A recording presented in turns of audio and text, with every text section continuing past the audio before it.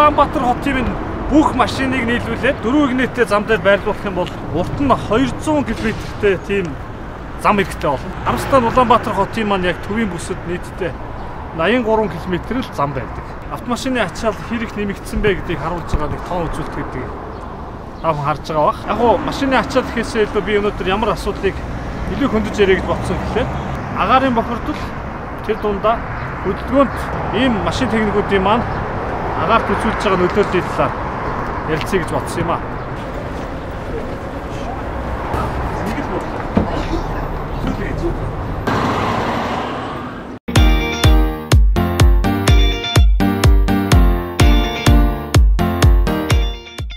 За Улаанбаатар хотод маань нийтдээ бараг 1000 гаруй нийтийн тээврийн автобус үйлчлэгэнд явдаг.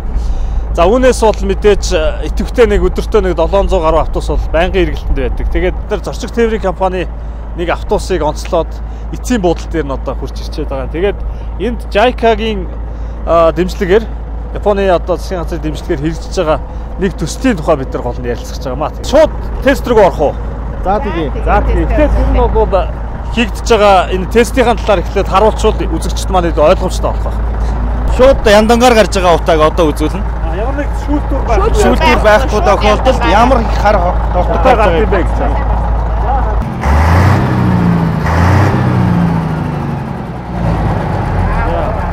Ох, чи юу вэ? За ийм л тогтог гарч ийн гэсэн үг л дээ. Автомашины үүдэлтэй агаарын бохирдлын 64% нь автобуснаас үүдэлтэй байна. Том оврын автобус. Том оврын автобус.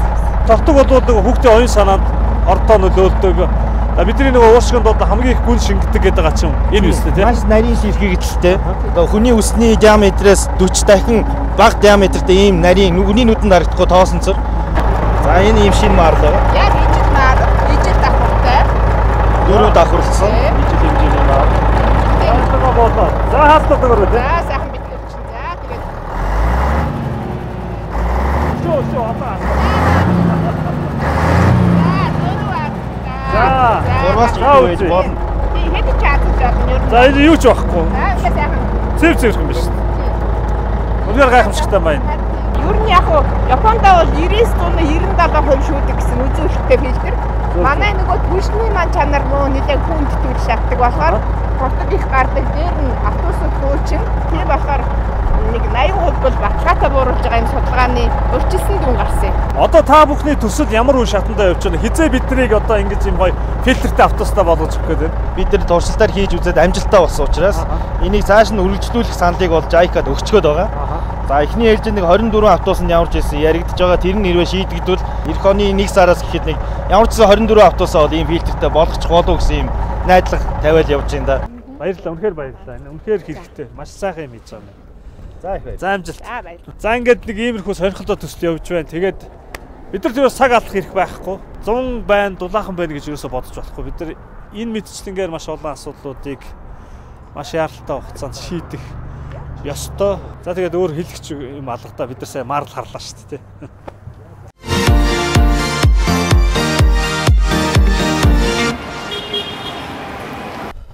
Улаанбаатар хотын минь агаарын чанарт бас нэлээд хүчтэй нөлөөлдөг. Тэр дундаа баг нэгдүгээр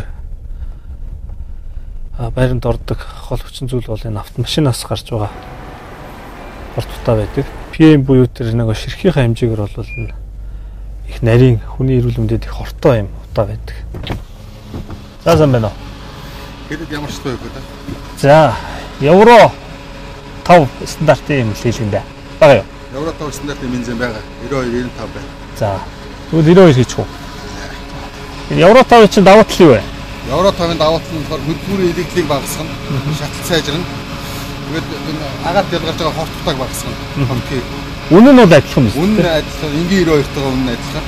Шатлалтан сайжирч байгаа юм чи хэмнэлт гарах уу? Хэмнэлт гарна, бензиний хэмнэлт гарна. Хүмүүс ер нь их дээр нь одоо евро 5-ыг авч байгаа. Байна. Амцаа тий.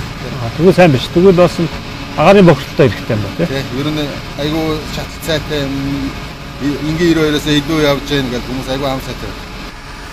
Тэр нь иргэдтэй уриалахад диск хувьд бол хэмнэлттэй.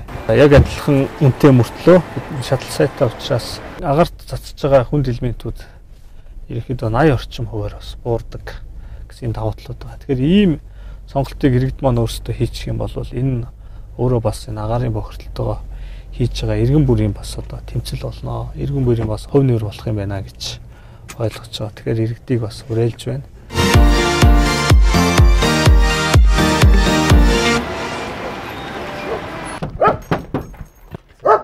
Аав чинь байна. Аа сайн байна уу та? За сайн байна. Нийслэл иргэдийн урлаас явж байгаа маа. Надад хэлэхдээ танах их байшингаа дулаасан айл байгаа гэж хэлсэн.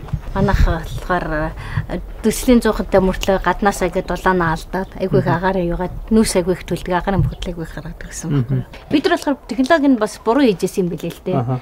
Зүгээр шууд шар шавар ягаад даранг тавиад шар шавар ягаадсан чи биш технологи нь байшин модон байшин болохоор цаав шилүү тавьж ийж тэгжээж яадаг. Тэгээ шилүү үн тавиад энэ төмөг хэлгэсэн бид нар. Нийт бол төсвөр хэд бас танаа байшинтаас Манайх за 7 сая гаруй 7 сая 600 мянга гаргасан ба бид нар 2 сая гаргасан. 2 сая төгрөг гаргасан тий. Тий өөрснөөсөө 30% ингээд тоо. Энэ цэвэр агаар санчин тэгэхээр яг танах шиг айлууд хэрвээ ингээд дулаалга хийя гэх юм бол 80% нь 80% цэвэр агаад сан даад юм. Одоо тэгээ бол одоо пүн хийгээл явчихсан. Одоо пүн хийгээд одоо сайхан дулаахан. Тэгээ нэгт би эргэн үнийхээ үргээр агаараа бохирдуулж ирсэн юм байна. Тэгээ өөрөө ч ойлгосон. Тэгээд баяр үргээ баярлалаа тань. За баяр. Тэгээ танаа гэр бүлийнхэн дүүр хамгийн сайн сайн хүсье. Ядж байгаа хүсье. Тэгээд. За баярлалаа. Сайн сууд.